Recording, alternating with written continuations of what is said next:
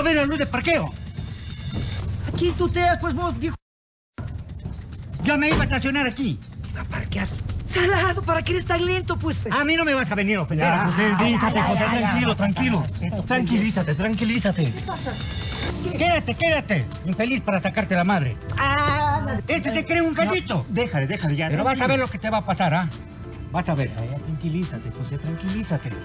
¿Qué sucede cuando los propietarios de un bien común tienen agudos problemas entre sí? ¿Cómo termina una relación laboral que está establecida sobre bases de solidaridad que no existen? Estas y otras interrogantes tendrán respuesta en el episodio que hemos preparado para esta noche con el título de Hasta que me muera. Bienvenidos.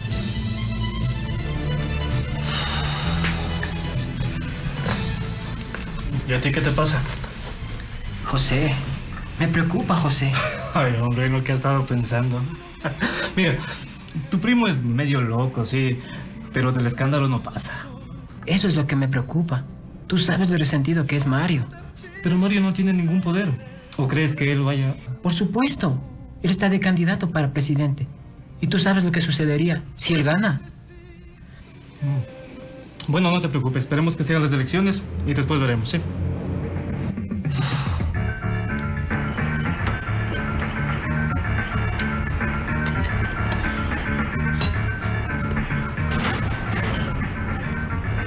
Oye, ¿puedes hacer tú solo eso? ¿O te mando la grúa?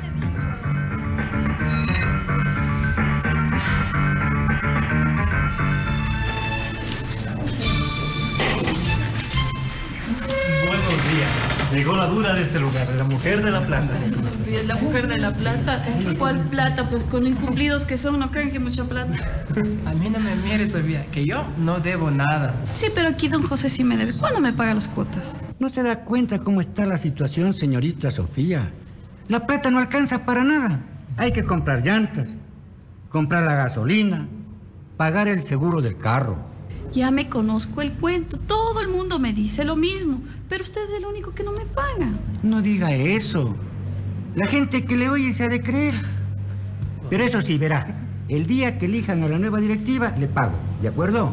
Verá que si no me paga, no puedo hacerle la liquidación del año. ¿Qué pasa? ¿Por qué no pagas?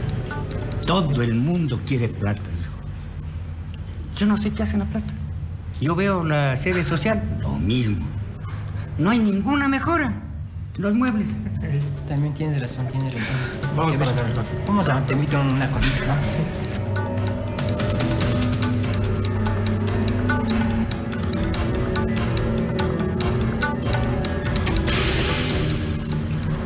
¿Qué te pasa? José no llega. Y ya empiezan las votaciones. ¿Dónde se habrá metido este hombre?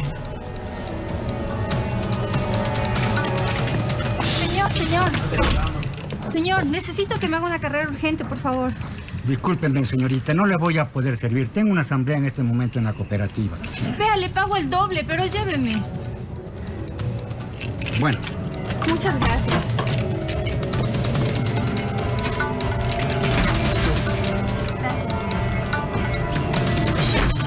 Los que estén de acuerdo, levanten la mano. Levanta la mano. ¿Para, para qué, hombre? Los que estén atrasados con las cuotas pueden ser expulsados de la cooperativa. La resolución queda aprobada por unanimidad. Pasemos al siguiente punto del día. La elección de la nueva directiva. Muchísimas gracias, señor. de nada, señorita. Ojalá no llegue tarde esa asamblea. Compañeros, habiendo sido elegido presidente de la cooperativa, no voy a prometer nada que esté fuera de la realidad. Eso sí, les ofrezco una administración con honestidad y con pulcritud.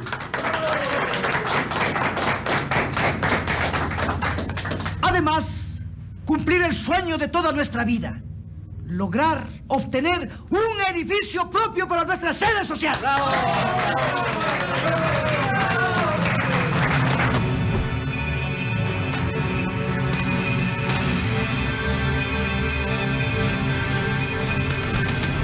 Ahí está el desaparecido. Oye, Mario, ¿dónde estabas? ¿No sabías que ahora hay asamblea? Sí me acordé, hermano. Problema que se me complicó la tarde. Me perdí mucho. Que te cuente, Juan. Yo tengo que irme. ¿Qué pasó?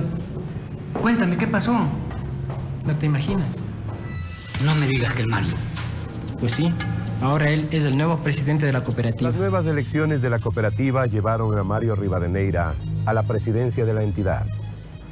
Mientras tanto, José Eduardo no se imaginaba que las abismales diferencias entre los dos les marcarían para el resto de sus vidas. ¿Dónde habré puesto ese dichoso balance? Don José, ¿cómo está? Bien. Tome asiento, pase. Gracias, muy amable. Y le atiendo un minutito. Bueno, gracias. Sofía, hasta que encontré el maldito balance del año anterior.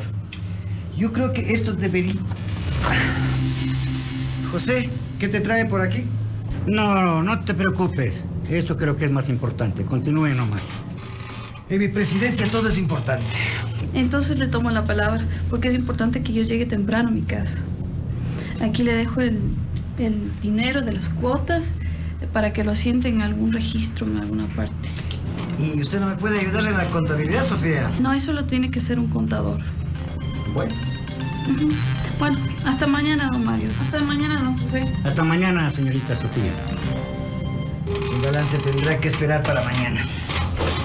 Bien, José, ¿en qué te puedo ser útil?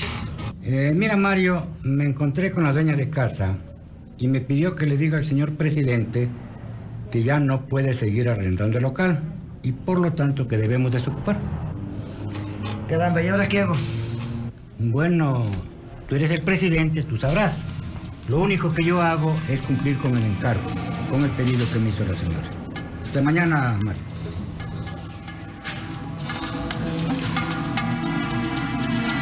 Compañeros, ha llegado el momento de cumplir con mi palabra.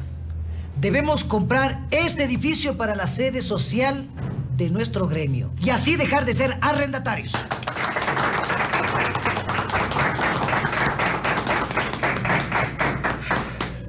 Compañero, Señor presidente, el directorio anterior también tuvo esa idea y fue negado por la Asamblea General de esta cooperativa y se resolvió que esos valores deberían ser invertidos en el plan de vivienda para los socios. una buena intención, compañero, pero eso nos llevaría muchísimo tiempo. Así que lo urgente en este momento es comprar el edificio para la sede social. Sí, por favor. Compañeros, yo pienso que para no entrar en discusiones, lo que deberíamos hacer es revisar las actas de esta asamblea. Sofía.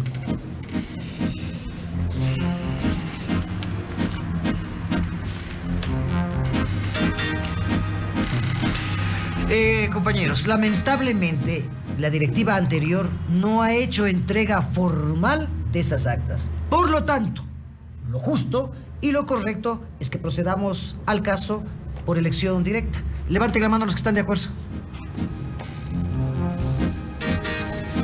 Sí, aprobado por unanimidad, compañeros.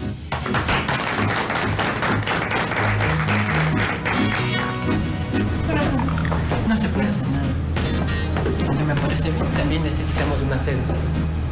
Mejor que le hagas un monumento al mar, es lo único que nos falta. Ya levantaste la mano, ahora te toca caerte con la plata para la sede. Las cuotas. Ya voy. Voy a dejarle la plata a la Sofía. Te esperamos abajo. Ya. Sí. Eh, ¿Está Sofía? No, no está José. ¿En qué te puedo ayudar? Mira, vengo a dejarle la plata a las dos cuotas que le debo. Por favor, me hace la fineza de entregarle, ¿ah? Gracias. Bueno, hasta luego, Marta. Hasta luego, José.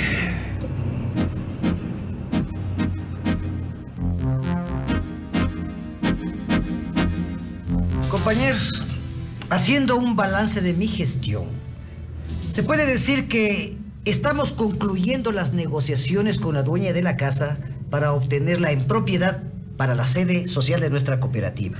Se ha logrado hasta el momento que nos amplíe el arrendamiento. Por lo tanto, para dicha adquisición necesitamos saber cómo estamos en las cuotas. Eh, Sofía, por favor. Todos los socios están al día, pero el único que tiene problemas es el señor José Vega. Eso es falso, señorita. Yo tengo pagado todas mis cuotas. Ve, Mario, a ti te entregué el dinero. Pero aquí no, es- no existe constancia de tales pagos. Aquí nunca hay constancia de nada. ¿Qué libros? Por eso mi plata no aparece. Yo no te permito esas insinuaciones. ¿Y quién eres tú para no permitirme esas insinuaciones? Pedazo de mamarracho. Por favor, señores, conservemos la calma.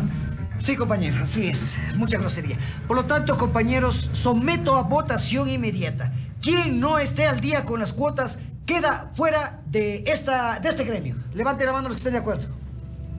Gracias, compañeros. Por lo tanto, por resolución de la Asamblea General, el señor José Vega queda formalmente separado de la cooperativa por incumplimiento de sus cuotas. Gracias, compañeros. Queda levantada la sesión. Ve, mamarracho, ¿qué capacidad tienes vos para sacarme la cooperativa? Ladrón, a ti te di la plata. Señores, entiendan mi situación. Sin una orden del presidente de la cooperativa, no puedo entregarles ningún centavo. No puedo liquidar nada. Vea, señorita Sofía, la ley de cooperativas dice que debían haberme li- liquidado después de 30 días de haber salido de aquí. Y han pasado tres años. Mire, señorita, me presento. Soy el abogado del señor José Vega. Tal vez usted no entiende. Esto es una sentencia ejecutoriada por un juzgado de la República. Pero si el señor José Vega no aparece con aportaciones, yo no le puedo liquidar nada. No, no, no, no, no. Usted tiene la obligación de entregar la liquidación a mi defendido. Y la parte proporcional de este local por haber sido socio. Pero usted no era socio ni miembro de la cooperativa cuando se compró esta casa. ¿Quién dice eso? ¿El rata del Mario? No, lo dicen los libros. Libros. ¿Qué libros? Esos libros no son muy confiables, señorita. Al menos eso dice este informe hecho por un perito de contabilidad. En la administración del señor Mario Rivadeneira, un gran faltante de dinero. Nosotros también tenemos otro informe de otro perito en el que él consta ahí que las aportaciones no han sido hechas por el señor Vega. ¿Qué informe? Ese informe pasquín que pagó el Mario Rivadeneira para causarme daño. Señores, comprendan. Yo soy solamente una portavoz del presidente. Y les reitero, no puedo liquidarles absolutamente nada. Ya verán. A mí me pagan porque me pagan. Vamos, doctor. Espero, señorita, que esto lo solucionemos lo más pronto posible. Buenas tardes. ¿cómo te fue, José? No tan bien. No nos fue muy bien. No, pero con la sentencia del juez a nuestro favor, tarde o temprano tendrán que pagar. ¿Usted lo cree? Claro que sí. Mientras más se demoren, mayor será el interés. José, ¿por qué no te olvidas de esa famosa parte de esta casa que quieres que te liquiden? ¿Y por qué me voy a olvidar, pues? Es mi derecho. A mí el Mario Rivadeneira me paga hasta el último centavo. No es la plata de Mario, es la plata de todos los socios. Entonces páguenme ustedes, pues. Ustedes lo eligieron como presidente. Y estás viejo. ¿Hasta cuándo vas a estar así? Hasta que me muera, Ramón. Hasta que me muera.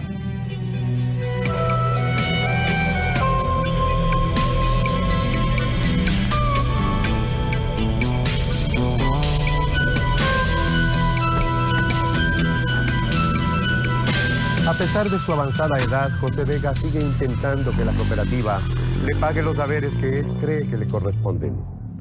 El manejo irregular de la contabilidad, omisiones en el procedimiento dejan muchas dudas sobre este caso. ¿Fue legal la expulsión de José Vega? Señoras y señores, muchas gracias.